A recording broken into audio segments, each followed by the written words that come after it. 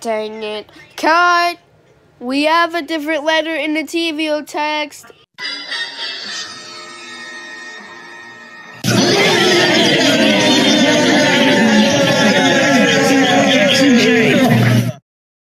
Are you sure this is a joke or something? Q? And why does it say QVO kids? Oh, I'm just T's replacement because T is watching Rocky right now. Sadly, I don't have any footage. Ugh, so much waiting to do. After that, we'll do take eight.